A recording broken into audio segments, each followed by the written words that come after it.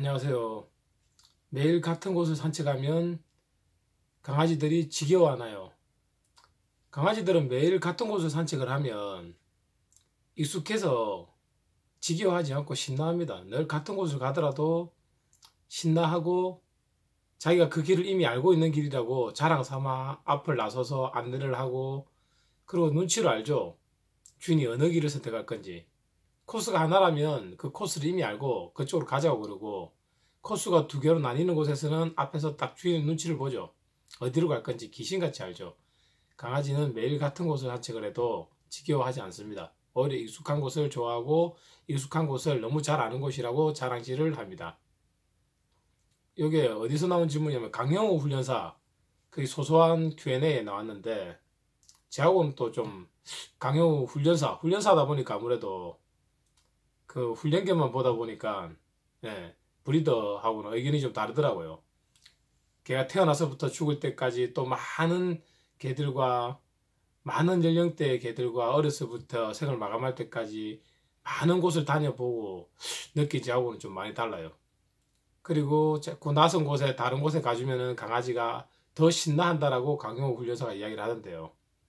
낯선 곳에 가면 더 신나한다. 근데 그것도 정말 개를 잘 모르고 이 사람이 개를 아나? 개를 이해하나? 개 처음 키우나? 이 정도로 좀 황당한 이야기예요. 그 개들도 사람 애기들하고 똑같아요.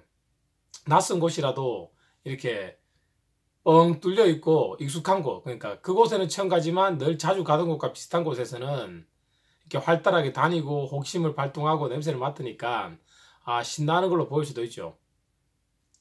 근데 이 개들은 사람과 교감을 많이 나누잖아요.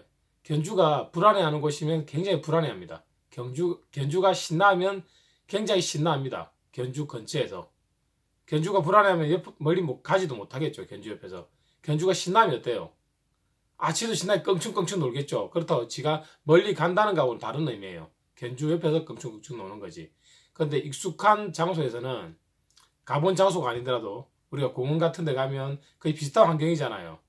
혼자 막 냄새를 맡고 다녀요. 좀 멀리 다니죠. 시야가 뚫려 있고 자주 가본 익숙한 곳과 비슷하니까.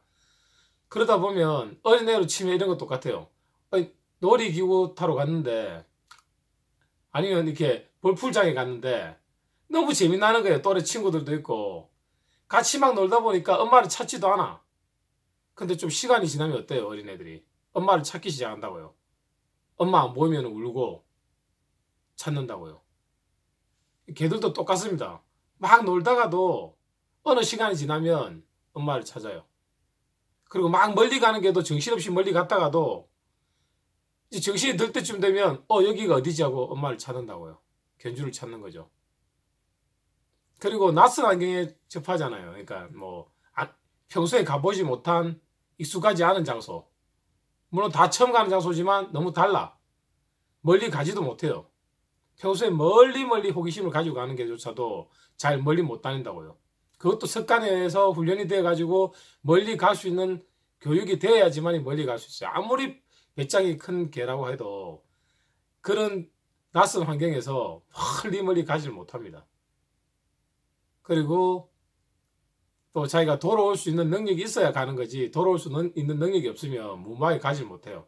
물론 다른 개를 따라가거나 뭐 어떤 호기심이 발동을 해서 갈 수는 있죠. 근데 어느 정도 일정 거리를 가버리면 두려움을 느끼고 돌아오는 걸 생각하고 엄마를 찾게 된다고요. 사람 어린이랑 똑같고 개마다 조금씩 성향은 틀립니다. 품종에 따라서 성향의 차이는 조금 있어요.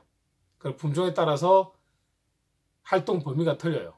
호기심의 범위도 다르고요. 또 개월수에 따라서도 활동 범위나 호기심의 범위가 달라요. 거기에 따라 대처하는 방법도 다르고요.